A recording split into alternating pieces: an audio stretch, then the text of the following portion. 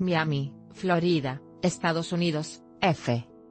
la depresión tropical Florence, que ha dejado al menos 18 muertos a su paso como huracán por la costa sureste de Estados Unidos, continúa arrojando hoy fuertes lluvias sobre partes de las Carolinas y el oeste de Virginia, informó el Centro Nacional de Huracanes, NHC.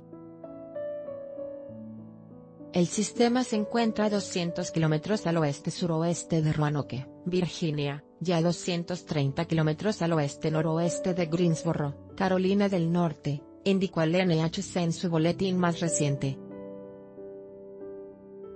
Florence presenta vientos máximos sostenidos de 45 km por hora, y se desplaza hacia el norte-noreste con una velocidad de traslación de 20 km por hora.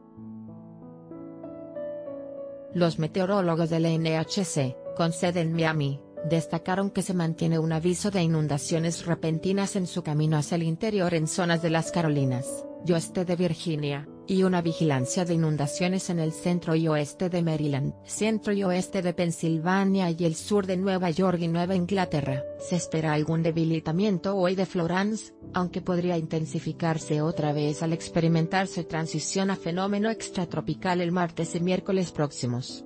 El NHC advirtió de que Florida podría dejar todavía en las próximas 48 horas intensas precipitaciones. Forense llegó el pasado viernes a la costa sureste de Estados Unidos.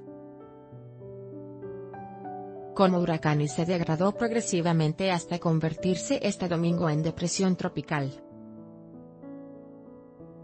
El número de muertes relacionadas con el paso del huracán Florence por la costa sureste de Estados Unidos aumentó a 18 con el fallecimiento de un bebé después de que un árbol cayese sobre su casa, informaron hoy medios locales. Mientras, la depresión tropical Joyce continúa deambulando por el sur del Atlántico, aunque no representa una amenaza para zonas pobladas, con vientos máximos sostenidos de 45 millas por hora, 55 kilómetros por hora.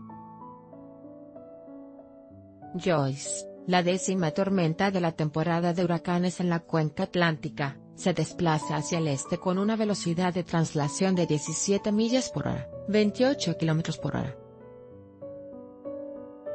se encuentra a 285 millas al sur-suroeste de las Azores, y se prevé un giro gradual del sistema hacia el sureste hoy y el miércoles hacia el suroeste.